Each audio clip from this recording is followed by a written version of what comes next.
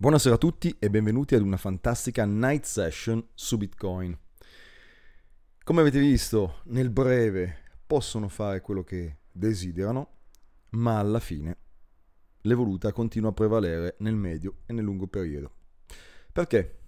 Innanzitutto, dato che aspettavamo sto baffo di chiusura, questo T-3 inverso ribassista appunto, ovvero che facesse una gambetta all'insù, Eccovelo qua, ve lo presento, ottavo T-3 inverso. Eccolo qua. Fatto, abbiamo iniziato di nuovo a riprecipitare. Perché?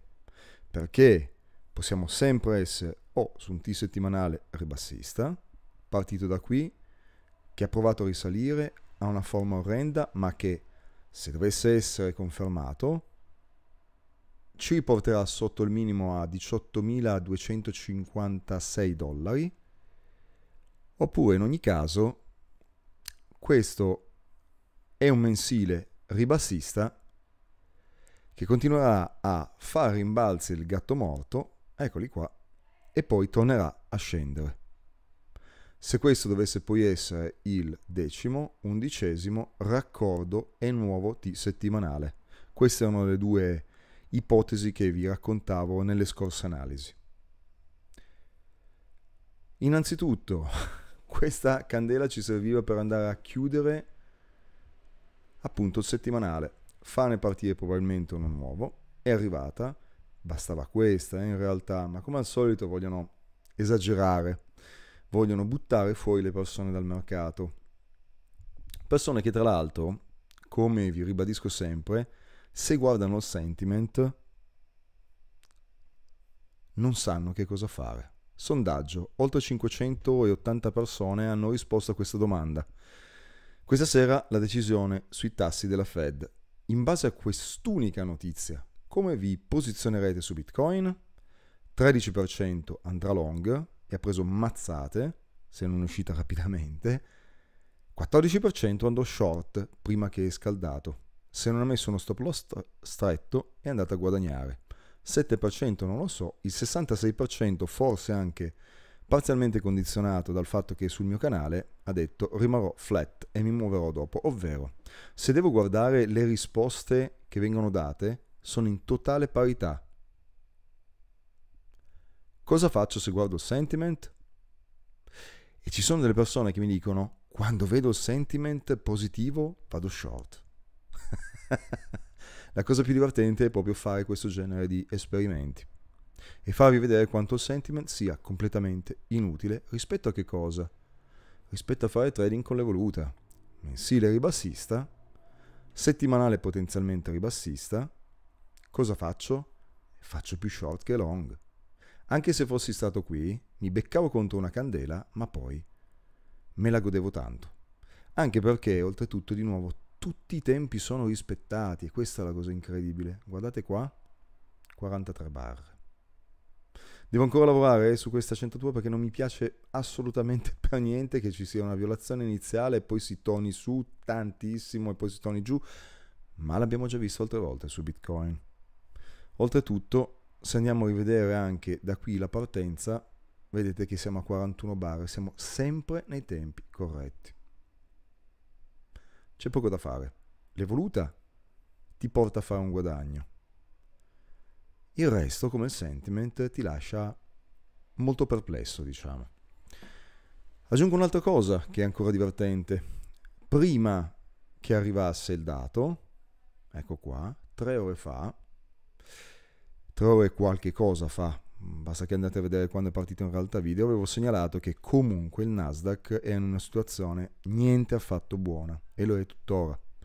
Come l'SP 500 sono tutti indici che dico che mm, potrebbero non fare una bella fine, non soltanto nel breve ma anche nel medio periodo. Per cui mi sono tra virgolette esposto dicendovi prima che arrivi la Fed che sono più disposto ad andare a ribasso che a rialzo vi lascio guardare il grafico del Nasdaq, non lo farò vedere qui. Terza cosa interessante, torniamo al gruppo premium. Sul gruppo premium che cosa ho segnalato questa sera? Ho segnalato che cosa? Inizia ad esserci una candela di top che mi piace. Se la forma rimanesse questa, in violazione, se la candela successiva violasse il suo minimo di chiusura, entriamo con un primo chip short di medio periodo se, se non teniamo la Fed, e questo è un se gigantesco, a voi la scelta, ma di long non se n'è mai parlato.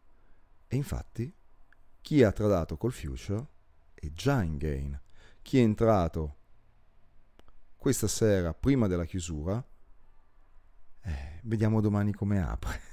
ok? Quindi per l'evoluta c'era un solo segno, meno. Ok? All'inizio tutti possono avere un attimo di spavento, ma poi arrivano i nostri, ovvero gli HFT. Adesso che cosa possiamo fare? Di che cosa parliamo?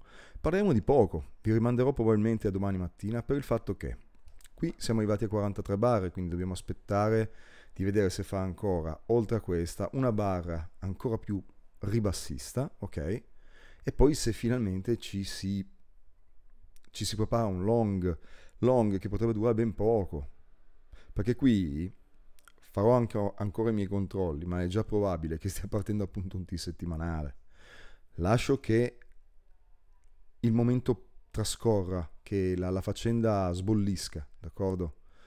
Che l'effetto temporaneo, soltanto temporaneo, come abbiamo appena dimostrato, temporaneo, non di medio o di lungo periodo, abbia effetto, perché avevo detto Nasdaq rischio short, S&P rischio short, su DAX ci siamo messi short,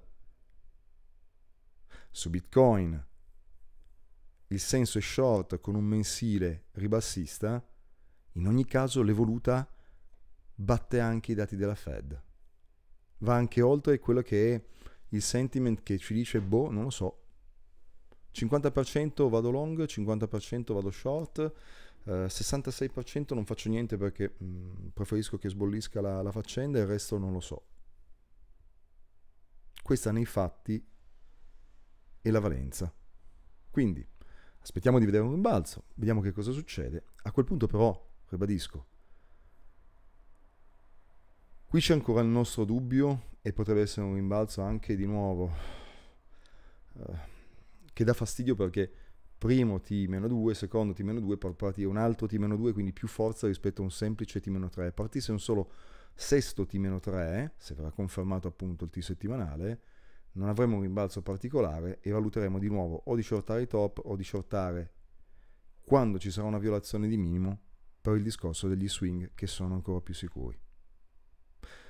Con queste evidenze incontrovertibili vi lascio, vi racconto che come al solito stiamo inserendo ancora tante persone nel gruppo premium, siete veramente tanti.